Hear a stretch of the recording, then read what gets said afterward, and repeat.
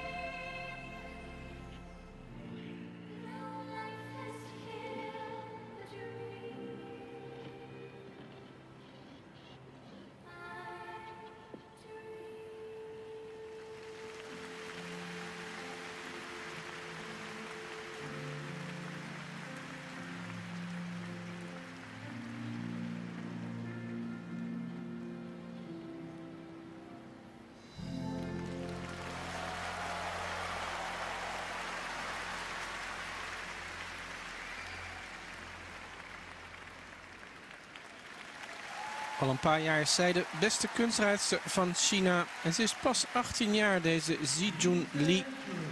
mooie zevende plaats in haar debuut op het WK in 2013. Vorig jaar 17 en dit jaar 9. Maar Haya zei het al, er had meer ingezeten. Want ze had op een, uh, na de korte kuur lag ze op een uitstekende zesde plaats. Dus ze heeft alles in huis hoor. De techniek, de gratie, de elegantie, de schoonheid ook om eh, een grote kampioen te worden. Zoals zij zekerder wordt in haar techniek. Misschien nog iets meer dynamiek ontwikkelt, dan kan ze zomaar eens een keer bedreiging vormen voor die kampioenen, de Russinnen. Misschien ook wel de Amerikanen.